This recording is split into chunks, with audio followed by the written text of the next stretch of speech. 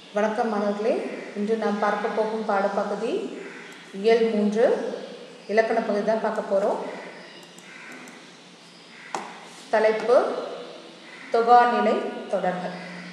போன வகுப்பில் தொகைநிலை தொடர்கள் பார்த்தோம் இல்லையா? இப்போ நம்ம பார்க்க போகிறது தொகாநிலை தொடர்கள். தொகாநிலை தொடர் அப்படின்னா என்ன? அப்படின்னா ஒரு தொடர் மொழியில் இரு சொற்கள் இருந்து அவற்றின் இடையில் சொல்லோ உருவோ இல்லாமல் அப்படியே பொருளை உணர்த்துவது தொகாநிலை தொடர் எனப்படும். இப்போ தொடர்மொழியில் ரெண்டு சொற்கள் வந்து அவற்றுக்கு இடையில வந்து எந்த சொல்லோ இல்லை உருவோ வந்து மறைந்து வராது. போன வகுப்பில் தொகைநிலை தொடர்களை பார்த்தோம் இல்லையா? தொக்கி வருவது மறைந்து வருவது அப்படி மறைந்து வந்துச்சுன்னா அது வினைத்தொகை பண்புத்தொகை இப்பெல்லாம் பார்த்தோம் இல்லையா? ஆனால் தொகாநிலை தொடர்களில் தொடர்மொழியில் இரண்டு சொற்கள் வரும்பொழுது அதுக்கு இடையில் எந்த சொல்லோ எந்த உருவோ எதுவுமே மறைந்து வராமல் வெளிப்படையாகவே இருக்கும். ஒரு பொருளை வந்து உணர்த்தும். இதுதான் என்ன சொல்லுவாங்கன்னா தொகாநிலை தொடர் அப்படின்னு சொல்கிறாங்க புரியுதா? இரண்டு சொற்கள் இருந்து அவற்றின் இடையில் சொல்லோ உருவோ இல்லாமல் அப்படியே பொருளை உணர்த்துவது தான் என்னது? தொகாநிலை தொடர். புரியுதா? இப்போ நீங்கள் எடுத்துக்காட்டை பார்த்தீங்கன்னா உங்களுக்கு புரியும். காற்று வீசியது குயில் கூவியது அப்படின்னு சொல்கிறாங்க இப்போ முதல் தொடரில் காற்று என்பது எழுவாயாக இருக்குது வீசியது என்பது பயனிலையாக இருக்குது. இப்போ இதுக்கு நடுவில் எந்த சொல்லோ எந்த உருவோ வந்து மறைந்து வரல. இயல்பாக வந்து காற்று வீசியது அப்படின்ட்டு பொருளை வந்து உணர்த்துது இப்போ அடுத்த தொடரில் பார்த்தீங்கன்னா இரண்டு சொற்கள் இருக்குது. இல்லை குயில் என்பது எடுவாய் வந்திருக்கு கூவியது என்பது பயனிலையாக வந்திருக்கு. சரியா? அப்போ குயில் கூவியது அப்படின்னு சொல்லும்போது குயில் கூவுறது அந்த பொருளை வந்து அது வெளிப்படையாக வெளிப்படையாக உணர்த்துது இதில் வந்து எந்த சொல்லோ உருவோ வந்து மறைந்து வரல. இந்த மாதிரி ஒரு தொடர்புடையில் இரண்டு சொற்கள் இருக்கு இல்லையா? அந்த இரண்டு சொற்களுக்கு இடையில் எந்த சொல்லோ எந்த உருவோ இல்லாமல் அப்படியே பொருளை உணர்த்தினா அது தொகாநிலை தொடர் எனப்படும். புரியுதா? எந்த சொல்லும் ரொம்ப மறைந்து வராது. அதுதான் தொகாநிலை தொடர். அப்படி எளிதாக ஞாபகம் வச்சுக்கோங்க. அடுத்தது இந்த தொகாநிலை தொடர் வந்து மொத்தம் ஒன்பது வகையாக பிரிக்கிறாங்க. எத்தனை வகையாக பிரிக்கிறாங்க? ஒன்பது வகை இருக்குது என்னென்ன அப்படின்னு பார்த்தோம்னா எழுவாய் தொடர் வினைமுற்று தொடர் வேற்றுமை தொடர் உரிச்சொல் தொடர் அடுக்கு தொடர் இடைச்சொல் தொடர் பெயரச்சல் தொடர் விழித்தொடர் வினையச்சல் தொடர். ஸோ மொத்தம் வந்து தொகாநிலை தொடர்கள் வந்து ஒன்பது வகைகள் இருக்குது புரியுதா? இப்போ முதல் நம்ம பார்க்க போகிறது எழுவாய் தொடர். சரியா? எழுவாய் தொடர் அப்படின்னா என்ன?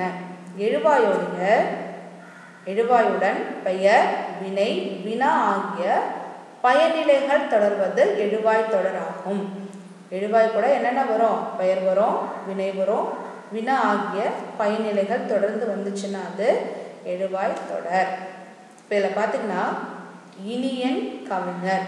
இந்த இடத்துல இனியன் என்பது எழுவாய். கவிஞர் என்பது பெயர்ச்சொல் இந்த மாதிரி எழுவாயோட எது தொடர்ந்து வந்திருக்குது? பெயர் தொடர்ந்து வந்திருக்கு இல்லையா? அதனால இது என்னது? எழுவாய் தொடர். அடுத்தது காவிரி பாய்ந்தது. இதில் காவிரி என்பது என்னது? பெயர். இல்லையா? அது கூட எது தொடர்ந்து வந்திருக்குது. பாய்ந்தது என்று சொல்லக்கூடிய வினை தொடர்ந்து வந்திருக்குது. அப்போ இது என்னது? எழுவாய் தொடர். நம்ம ஏற்கனவே சொன்னோம் இல்லையா? எழுவாய் கூட பெயர் வரும் வினை வரும் வினாவும். அடுத்த பேருந்து என்பது எழுவாய். அந்த எழுவாய் கூட எது வந்திருக்கு? வருமா நடக்குமா அப்படின்னு சொல்லக்கூடிய வினா தொடர்ந்து வந்திருக்கு. அதனால இது என்னது? எழுவாய் தொடர். அப்போ எழுவாய் கூட பெயரோ இல்லை வினையோ இல்லை வினா ஆகிய பயனிலைகள் தொடர்ந்து வந்துச்சுன்னா அது என்ன தொடர்? எழுவாய் தொடர். எழுவாய் தொடர் என்னென்ன தொடர்ந்து வரும்? பெயர் வினை வினா. இந்த பயனிலைகளை வந்து தொடர்ந்து வரும். புரியுதா? எதை என்ன சொல்லுவாங்கன்னா? எழுவாய் தொடர் அப்படின்னு சொல்லுவாங்க. அடுத்தது விழித்தொடர் விழித்தல் அப்படின்னு சொன்னாலே அழைத்தல். இப்போ அம்மா கூடுவாங்கல்ல? கண்ணா இங்கே வா. பேரை சொல்லி கூப்பிடுவாங்களே அழைத்து. அப்பா அப்படின்னு சொல்லி தானே அந்த ஓசை வரும் இல்லையா? மகளே மகனே அப்படின்னு சொல்லுவாங்க இல்லையா? அது வந்து அழைத்தல் புரியுதா? விழித்தல் அப்படின்னா அழைத்தல் அப்படி விழியுடன் என்ன தொடர்ந்து வரும்? வினை தொடர்வது விழித்தொடர். விழியுடன் வினை தொடர்வது என்ன தொடர்? விழித்தொடர் அப்படின்னு சொல்லி நண்பா எழுது. கண்ணா ஓடு. அப்படிலாம் சொல்கிறோம் இல்லையா? அந்த மாதிரி நண்பா என்பது விழிப்பெயர். புரியுதா? இப்போ நண்பா இங்கே வா அப்படின்னு நீங்கள் சொல்லுவீங்க இல்லையா?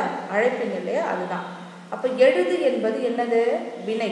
அப்போ நண்பா என்னும் விழியுடன் எது தொடர்ந்து வந்திருக்குது? எழுது என்று சொல்லக்கூடிய வினை தொடர்ந்து வந்திருக்கு. அதனால இது என்னது? விழித்தொடர். அப்போ விழியுடன் வினை தொடர்வது விழித்தொடர்.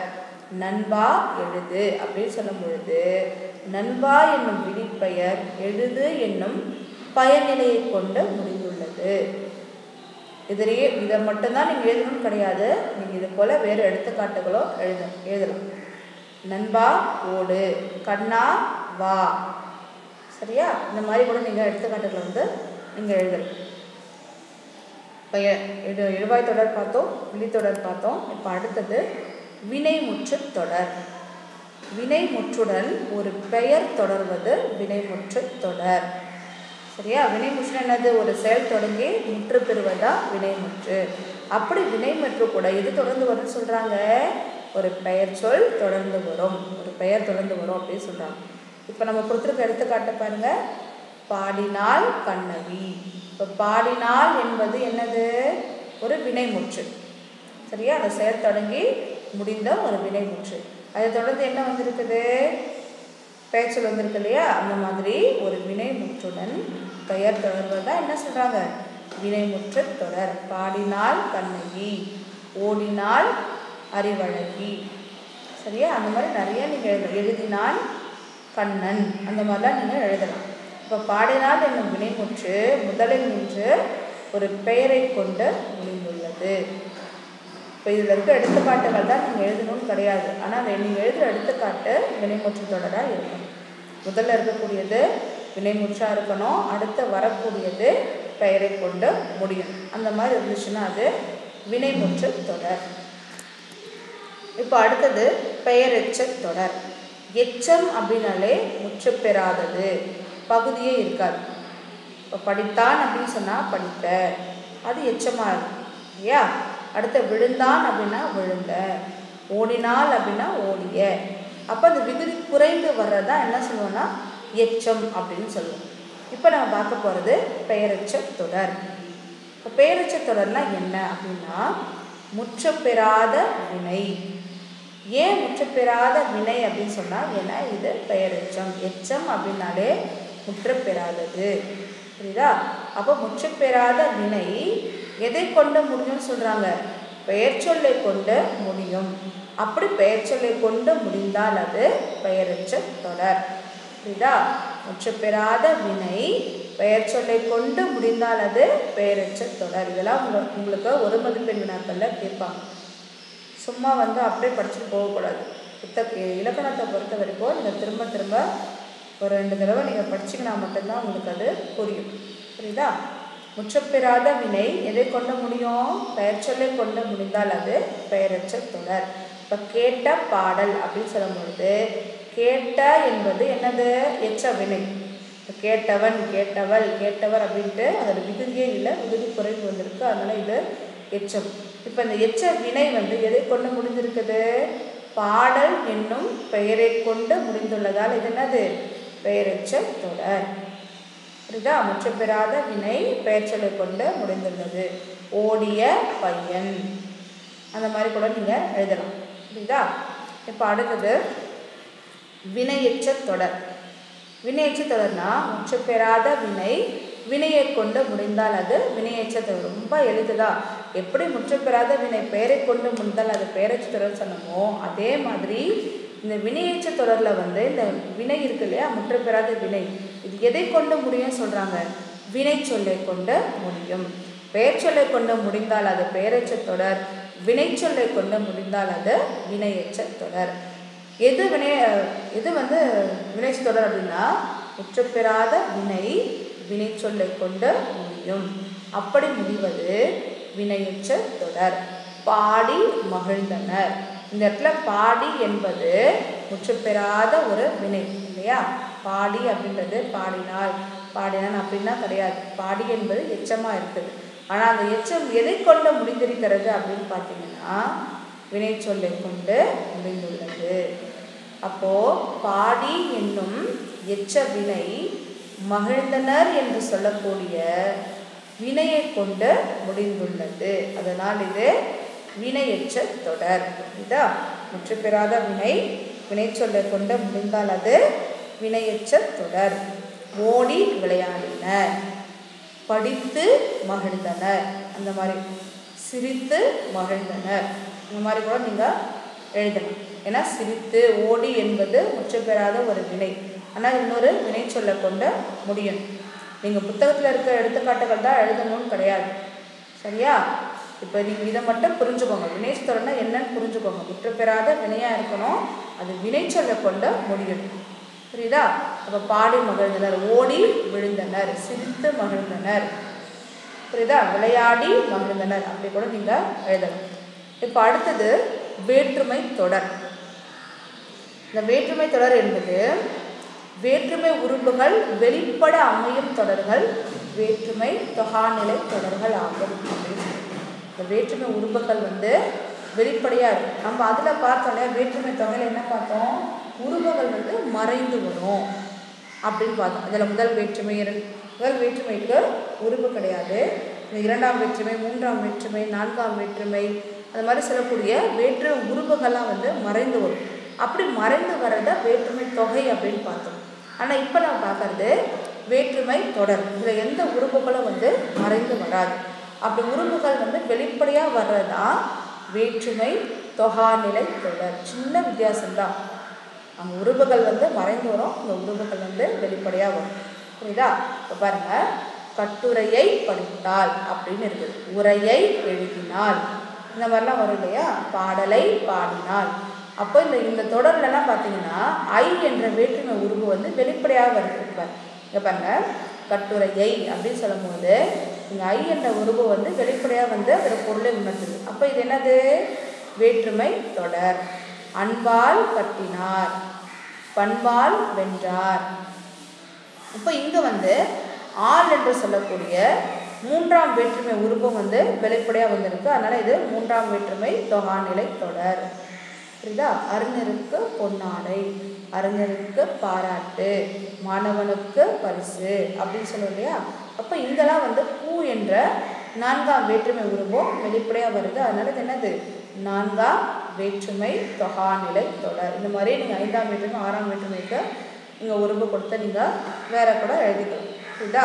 அப்போ உருவுகள் வந்து வெளிப்படையாக வரும் தொடர்கள் வந்து வேற்றுமை தொகாநிலை தொடர்கள். எந்த உருவுகள் ஞாபகம் வச்சுக்கோங்க?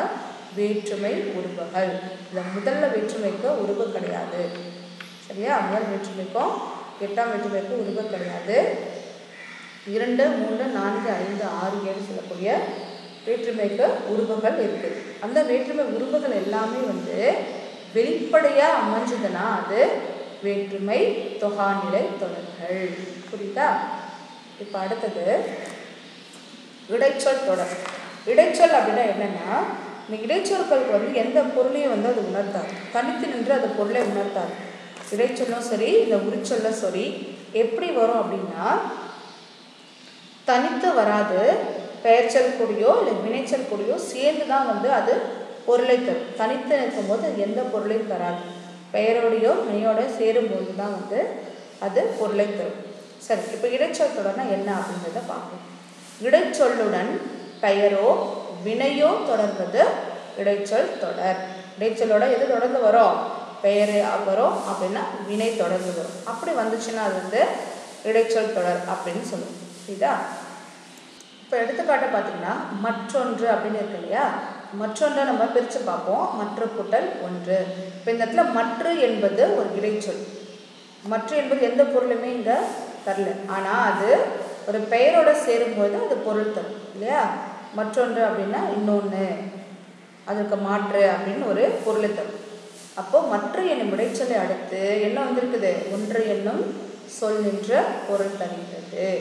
புரியுதா? அப்போ இடைச்சொல்லோட பெயரோ வினையோ தொடர்வதை என்ன சொல்லுவோம்? இடைச்சொல் தொடர் அப்படின்னு சொல்லுவோம். புரியுதா? இப்போ அடுத்து நம்ம பார்க்க போகிறது உரிச்சொல் தொடர். இந்த உரிச்சொல்லும் அதே மாதிரி தான் உரிச்சொல்லோட பெயரோ அல்லது வினையோ தொடர்வது தான் என்னது?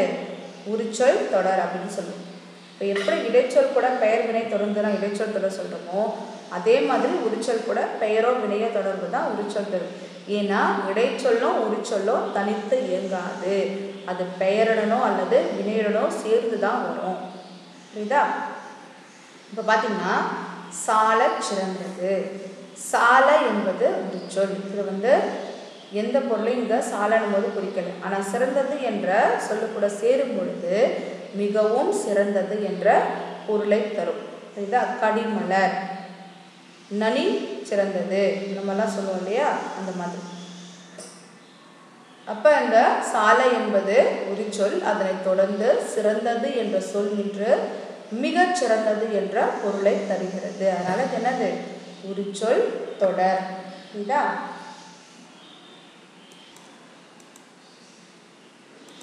இப்போ கடைசியாக நம்ம பார்க்க போகிறது அடுக்கு தொடர். அடுக்கு தொடர்னா என்னது? ஒரு சொல் இரண்டு மூன்று முறை அடுக்கி வருவது அடுக்கு தொடர் அப்படின்னு சொல்லுவோம். இப்போது அது எப்போ வரும் அப்படின்னா அச்சம் காரணமாக வரும். அதுக்கப்புறம் வந்து மகிழ்ச்சி காரணமாக வரும். வியப்பு காரணமாக வரும். அப்போ என்ன பண்ணுவோம்? நம்ம ரொம்ப வியப்பாக அப்படியே ஒரு மலையிலேருந்து பெரிய மலையை நம்ம பார்க்கும்பொழுது இமயமலை அடிவாரத்தில் நம்ம இமயமலை பார்க்கும்பொழுது அது ரொம்ப உயரமாக தெரியும். இப்போ வியப்பின் காரணமாக என்ன சொல்லுவோம்? ஐயோ எவ்வளோ பெருசு எவ்வளோ உயரம் அப்படிலாம் சொல்லுவோம் இல்லையா அந்த மாதிரி வியப்பின் காரணமாக வந்து நம்ம வந்து சொற்களை வந்து திரும்ப திரும்ப வந்து பயன்படுத்துவோம். அதே மாதிரி அச்சம் காரணமாக இப்போ நம்ம இருக்கிற இடத்துல ஒரு பாம்பு போச்சா நீங்கள் என்ன பண்ணுவீங்க? அடுத்த வார்த்தை வராது. பாம்பு பாம்பு பாம்புன்னு கத்துவோம் இல்லையா? அந்த சொல்லை வந்து இரண்டு அல்லது மூன்று முறை கூட நம்ம அடிக்க சொல்லுவோம். அந்த மாதிரி வரதை என்ன சொல்லுவாங்கன்னா அடுப்பு தொடர் அப்படின்னு சொல்லுவாங்க. இப்போ இங்கே பார்த்தீங்கன்னா ஓகே காரணமாக மகிழ்ச்சி காரணமாக நம்ம என்ன சொல்லுவோம்? வீட்டுக்கு யாராவது விருந்தினர் வந்தாங்கன்னா வாங்க வாங்க வாங்க சொல்லுவோம் இல்லையா? வருக வருக அப்படின்னு சொல்லிட்டு. அதான் என்னது? அடுக்கு தொடர். இப்போ வருக வருக வருக என்ற ஒரே சொல் ஓகையின் காரணமாக மீண்டும் மீண்டும் அடுக்கி வந்துள்ளது. பாம்பு பாம்பு பாம்பு அப்படின்னு சொல்கிறது அச்சம் காரணமாக மீண்டும் மீண்டும் அடுக்கி வந்துள்ளது. புரியுதா? இப்போ அடுத்தது இப்போ இருக்கக்கூடிய இடத்துல பார்த்தீங்கன்னா ஒன்றிற்கு மேற்பட்ட எச்சங்கள் சேர்ந்து பெயரை கொண்டு முடியும் கூட்டுநிலை பெயரெச்சங்களை இக்காலத்தில் பெருமளவில் பயன்படுத்துகிறோம். இது வந்து நம்ம பார்த்தது இலக்கண தொடர்பானது. ஆனால் இப்போ வந்து நம்ம நிறைய கூட்டுநிலை பெயரெச்சங்களை பயன்படுத்துகிறோம் அப்படின்னு சொன்னாங்க எப்படின்னா வேண்டிய கூடிய தக்க வல்ல முதலான பெயரெச்சங்களை செயல் என்னும் வாய்ப்பாட்டு வினையச்சத்துடன் சேர்ப்பதன் மூலம் கூட்டுநிலை பெயரெச்சங்கள் உருவாகின்றன. எப்படின்னா கேட்க வேண்டிய பாடல். சொல்லத்தக்க செய்தி ஒன்றை சொல்லறது ஒன்று இருக்குது. நம்ம கேட்க வேண்டியதெல்லாம் நிறையா இருக்குது. நம்ம பார்க்க வேண்டியதெல்லாம் நிறையா இருக்குது அப்படின்னு சொல்லுவோம் இல்லையா? இந்த மாதிரி இப்போ வந்து நம்ம கூட்டுநிலை பெயரச்சங்களை வந்து நிறையா வந்து வழக்கில் பயன்படுத்துகிறோம் அப்படின்னு சொல்கிறாங்க இதுவும் நீங்கள் வந்து தெரிஞ்சுக்கக்கூடிய ஒரு ஒன்று. இப்போ கற்பவை கற்றப்பின்னு இருக்க பாருங்கள் உங்கள் புத்தகத்தில். இப்போ இதில் பார்த்தீங்கன்னா இந்த முதல்ல இருக்கக்கூடாது இன்று நீங்கள் படித்த செய்தித்தாள்களில் தொகாநிலை தொடர்களை தொகுத்து வருக நீங்கள் செய்தித்தாள் படிக்கிறீங்க இல்லையா அதில் வந்து நிறைய தொகாநிலை தொடர்கள் எல்லாமே இருக்கும். நீங்கள் ஒரு செய்தித்தாளை நீங்கள் எடுத்து பார்த்தீங்கன்னாவே உங்களுக்கு தெரியும். இப்போ அடுத்தது பார்த்தீங்கன்னா கீழ்காணும் பத்தியில் உள்ள தொடர் வகைகளை எடுத்து எழுதுக இப்போ இதில் இறங்கினார் முகமது அப்படின்னு கொடுத்துருக்காங்க இல்லையா? இது வந்து என்ன தொடர்புன்னு சொல்லுங்கள் வினைமுற்று தொடர். ஏன்னா ஒரு வினைமுற்றோட எது தொடர்ந்து வந்திருக்குது? பெயர் தொடர்ந்து வந்திருக்கு இல்லையா? இப்போ இறங்கினார் அப்படின்றது ஒரு வினைமுற்று அது எதை தொடர்ந்து வந்திருக்குது? பெயரை தொடர்ந்து வந்திருக்கு. அப்போ ஒரு வினைமுற்று ஒரு வினைமுற்றோட பெயர் தொடர்ந்து வந்துச்சுன்னா அது வினைமுற்று தொடர். புரியுதா? அடுத்தது அவர் பாடகர். அவர் பாடகர்னு இருக்கு. இது என்னது? எழுவாய் தொடர் ஏன்னா இந்த அவர் என்பது எழுவாய். இது வந்து பெயர். அப்போ எழுவாயுடன் பெயர் வினை வினா தொடர்ந்துச்சுன்னா அது எழுவாய் தொடர் அப்படின்னு பார்த்தோம் இல்லையா? அப்போது இது என்ன தொடர்? எழுவாய் தொடர் இப்போ அவர் என்ற எழுவாய் கூட பாடகர் என்ற பெயர் தொடர்ந்து வந்திருக்கு. அடுத்தது பாடல்களை கேட்பதும் பாடுவதும் கேட்பதும் அப்படின்னு சொல்கிறது உண்மை தொகை ஏன் அப்படின்னா இந்த கேட்பதும் பாடுவதும் அப்படின்ட்டு உம் என்ற உறுப்பு வந்து வந்துருக்கு. புரியுதா?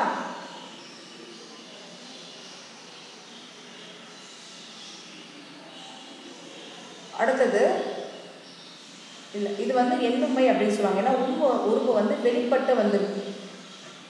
பாடுவதும் கேட்பதும் அப்படின்ட்டு உம் உருவு வந்து வெளிப்பட்டு வந்ததால இது எண்ணுமைகள் அப்படின்னு சொல்லுவாங்க. புரியுதா? இது பாடுவதும் கேட்பதும் என்பது எண்ணுமைகள். உண்மை தொகை அப்படின்னா இந்த உம் வந்து மறைந்து வரும் சரியா? அடுத்தது கேட்ட பாடல். கேட்ட பாடல் அப்படின்னு சொல்றது கேட்ட பாடல் கேட்காத பாடல் இதெல்லாம் வந்து உரிச்சொல் தொடரில்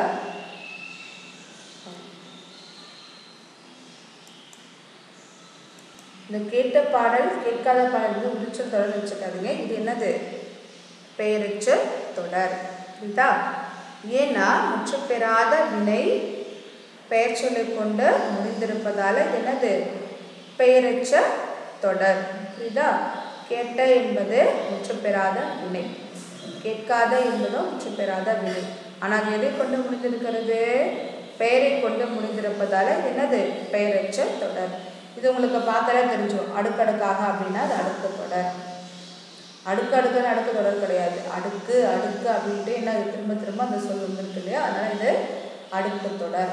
இப்போ இதில் பார்த்தீங்கன்னா இதில் இருக்கக்கூடிய தொடர் வகைகள் என்னென்ன அப்படின்னு கேட்குறாங்க பழக பழக அப்படின்றது இந்த அடுக்கு தொடரில் வரும்.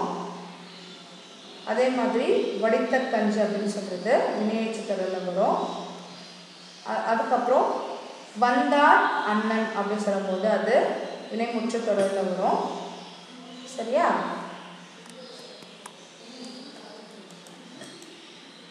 இப்போ அடுத்து இதில் கொடுத்துருக்கக்கூடிய குறிப்பினாக்கள் பார்த்தீங்கன்னா எழுது என்றால் என்பது விரைவு காரணமாக எழுது எழுது என்றால் என அடுக்கு தொடரானது. சிரித்து பேசினார் என்பது எவ்வாறு அடுக்கு தொடர் ஆகும் அப்படின்றத குறிப்பினர் கொடுத்துருக்காங்க. அடுத்தது பாரதியார் கவிஞர் நூலகம் சென்றார். அவர் யார் ஆகிய தொடர்களில் எழுவாளுடன் தொடரும் பயனிலைகள் என்னென்ன? அப்படின்றது கேட்டிருக்காங்க. இந்த ரெண்டு வினாக்களுமே ரொம்ப எளிதான வினாக்கள் தான். அதனால் நீங்கள் இன்னைக்கு அதை படிச்சுக்கணும் இப்போ முதல் வினாக்கள் விளக்கம் என்ன அப்படின்னா எழுது என்றால் என்பது விரைவு காரணமாக எழுது எழுது என்றால் அப்படின்னு அடுக்கு தொடராச்சு இப்போ நம்ம சீக்கிரமாக எழுது அப்படின்னு சொன்னா எழுது எழுது அப்படின்னு சொல்லுவோம் இல்லையா? அந்த மாதிரி. அது எப்படி சிரித்து பேசினார் என்று அடுக்கு தொடர் ஆகும் அப்படின்றத அவங்க பாட வினா இப்போ சிரித்து பேசுகிறான் அப்படின்றது அவன் சிரிச்சு சிரிச்சு பேசினான் அவன் அழுதுகிட்டே அழுது அழுது சொன்னான் அப்படின்னு சொல்லுவோம் இல்லையா? அந்த மாதிரி சிரித்து சிரித்து பேசினார் அப்படின்றது தான் வந்து இங்கே அடுக்கு தொடராகும் ரொம்ப எளிமையான ஒரு வி- வினா தான் இது. சரியா? இப்போ அடுத்தது பாரதியார் கவிஞர் நூலகம் சென்றார். அவர் யார்? இந்த மூன்று தொடர்கள் இருக்கு இல்லையா?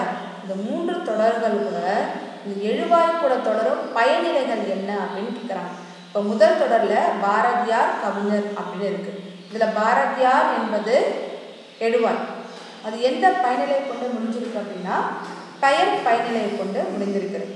புரியுதா? அடுத்தது நூலகம் சென்றார். இல்லை நூலகம் என்பது எழுவாய் சென்றார் என்பது வினை. அப்போ வினை பயனிலையை கொண்டு முடிந்துள்ளது. அடுத்தது அவர் யார்? அவர் என்பது எழுவாய் யார் என்பது வினா. அப்போ வினை பயனிலை கொண்டு முடிந்துள்ளது. புரியுதா? இப்போ பாரதியார் கவிஞர் பெயர் பயனிலை நூலகம் சென்றார் வினை பயனிலை அவர் யார் வினா பயன்நிலை. அவ்வளோதான் இது வந்து ரொம்ப எளிதான வினாவிடை தான். இதை வந்து நீங்கள் விழுந்து விழுந்து படிக்கணும்னு அவசியமே கிடையாது. நீங்கள் என்ன பண்ணணும்? ஒரே ஒரு தடவை இந்த புத்தகத்தை திருப்பி பாருங்கள் இந்த வினா விடைகளை வந்து தெளிவாக படிச்சீங்கன்னா நீங்கள் வந்து அழகாக மதிப்பெண்கள் வந்து வாங்கலாம். சரியா? நன்றி.